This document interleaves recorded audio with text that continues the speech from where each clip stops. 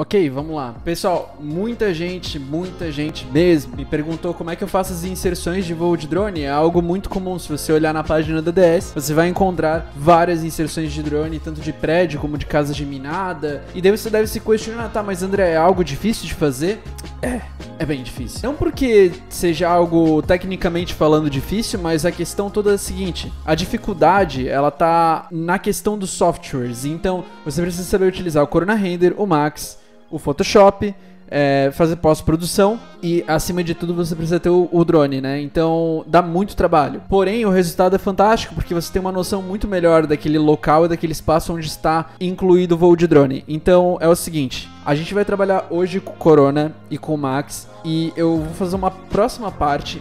Na próxima parte estará incluso a questão do Photoshop, então eu vou separar isso em três vídeos porque senão vai ficar muito comprido. Ok, então a gente vai ter aqui o arquivo do Max. Eu vou dividir a tela em duas para a gente conseguir ter uma visualização melhor. Mas na verdade o primeiro passo aqui não é ir no Max. O primeiro passo é a gente escolher uma imagem de drone. Então a gente tem três regras na hora de escolher a foto do voo de drone. A primeira delas é escolha um voo de drone com qualidade tá tremido. Essa primeira é mais básica, eu acho que todo mundo já esperava. A segunda regra é a gente precisa sempre encontrar um voo de drone é, que não esteja muito distante do, do seu do, da sua construção. Porque se você pega um voo de drone que está muito longe do que você quer inserir, acaba que as pessoas depois da inserção não vão saber dizer qual que é o projeto e qual que não é o projeto. E a terceira regra é, eu sempre tento escolher um ângulo que pegue o horizonte, que pegue um ângulo onde está encaixado a casa junto do horizonte, entendeu? Um ângulo interessante. Para essa construção aqui, a gente já tem separado aqui duas imagens que eu já vi na hora com o cliente, ele estava presente no dia do voo. Então, o primeiro ângulo escolhido vai ser essa imagem pegando a esquina, porque daí ela pega duas fachadas diferentes. E esse, o segundo ângulo seria o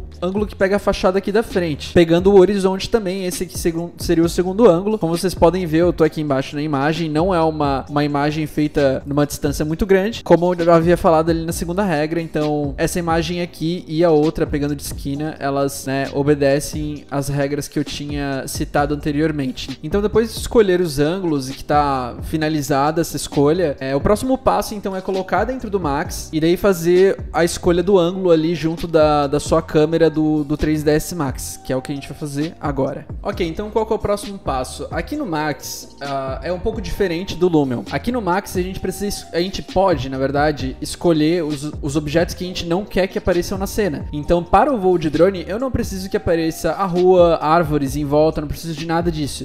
Eu utilizei eles para fazer o ângulo que está do lado. Eu sempre faço um ângulo do espectador que fica na rua, então eu preciso construir um pequeno entorno e eu faço um ângulo aéreo ou dois ângulos aéreos conforme o cliente solicitar. Então a gente vai esconder agora e criar um scene state, que é uma ferramenta do Max para a gente poder esconder e depois selecionar lá no batch rendering que a gente vai ver em seguida.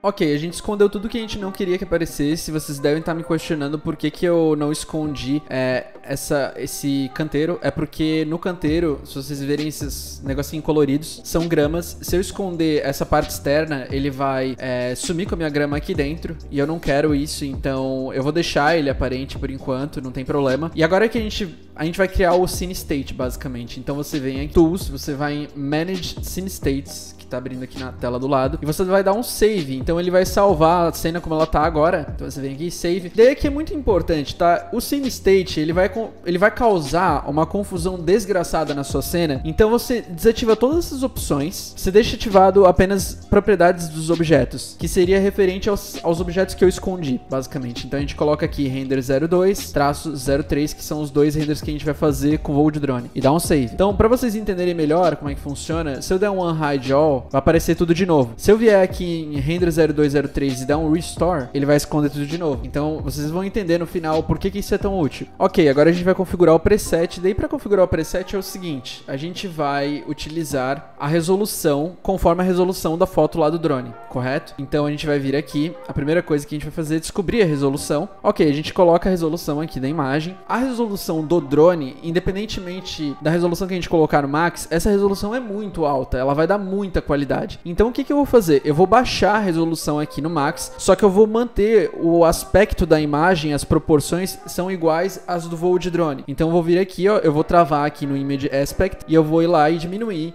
de 3.978 para 2.800. Porque quando eu renderizar, eu quero que a qualidade fique meio ruim, porque sim, o meu drone não é dos melhores. Eu sei que se eu colocar uma resolução desse tamanho do Max, ela vai ficar uma qualidade muito boa para do voo de drone. Muito importante anotar isso, tá? Ok, a gente tá com a resolução certa. A gente tá aqui já com tudo configurado, o mapa de reflexão, isso tudo são coisas muito complexas que eu não vou explicar. Esse tutorial é mais para quem já mexe com Max. E agora a gente vai apertar Alt B, a gente vai vir aqui em Background, a gente vai usar Use Files, ângulo 1. Ok, Apply to Active View. Então o que vai acontecer é que ele vai mostrar para mim aqui o voo de drone no fundo. Então, para quem fala tão mal do Max e fala que é complexo usar, tá aqui a coisa mais linda do mundo, fácil de encaixar, então a gente vai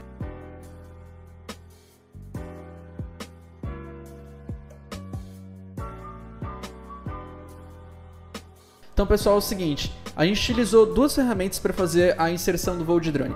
A primeira delas foi o zoom, basicamente, então eu fui colocando para frente para trás até eu encaixar naquele ângulo perfeito.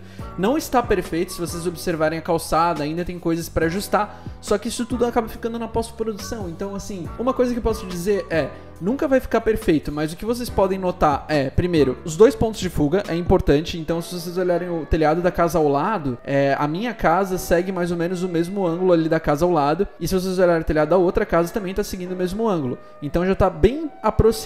Se ficar um pouco fora e eu achar que ficou estranho, eu basicamente vou lá no Photoshop mesmo e dou uma distorcida para ela encaixar perfeitamente. A segunda, o segundo detalhe seria em relação à calçada, a calçada vai ter que ser é, removida ou acrescentada no Photoshop. Há outros detalhes, por exemplo, o meu próprio carro está ali estacionado, então esse carro ele vai ter que ser é, a calçada, na verdade, vai ter que ser cortada ou o carro, né? Um dos dois. Como isso leva muito tempo e eu faço vídeos um pouco mais resumidos, o que eu fiz foi o seguinte: fora da câmera, eu selecionei meu HDRI, que é a iluminação global da cena. É, eu fui lá e eu fui ajustando juntamente com a pós-produção do Corona Render, que é aqui ao lado, que eu estou com o mouse agora. Uh, então você vai selecionando o brilho, vai selecionando todas as configurações de luz, juntamente com algumas configurações de qualidade aqui. Após eu fazer toda essa configuração, eu cheguei no ângulo que eu queria e na iluminação que eu queria. Então agora eu posso renderizar e daí depois disso o processo é colocar dentro do Photoshop e alterar e pós-produzir esta imagem, que é o que a gente vai falar neste episódio. Então o projeto está pronto aqui, pronto para renderizar. Então, pessoal, lembra que eu falei do preset e do scene state? que a gente estava mexendo, o que acontece? Antes da gente renderizar, é importante a gente salvar esse preset,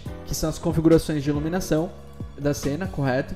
Então eu vou salvar aqui na minha pastinha do Windows. E eu vou mostrar para vocês como é que eu faço o meu batch render, que seria o meu render em sequência. Se eu quiser deixar isso aqui e ir embora fazer alguma outra coisa, ou ah, eu vou colocar aqui e dormir, ou vou almoçar. Max, então é muito simples. Você vem aqui em batch render, vai abrir essa caixinha aqui e você adiciona. Eu tenho dois renders na cena, mas na verdade eu vou fazer um terceiro também, que a gente já selecionou o ângulo ali. A gente vai botar aqui, render 03. Ok, primeiro passo é selecionar o nome do render. Eu vou fazer aqui só de um pra gente agilizar. O próximo passo é escolher a câmera, então eu vou selecionar render 02, que é câmera 02 aqui na cena. E daí agora em seguida a gente vai colocar o Scene State, que é essa parte onde eu falei pra gente esconder. Então quando eu estiver renderizando aqui, ele vai olhar, ah, essa cena aqui é pra esconder tudo, beleza. Então a gente vai lá, Scene State, render 02, 03. Ok. E daí o primeiro não tem Scene State, no caso. E daí por último a gente coloca o preset, por último não, né? Mas enfim, coloca aqui render 02, preset do render 02. E agora por último a gente vai selecionar o destino, né, desse,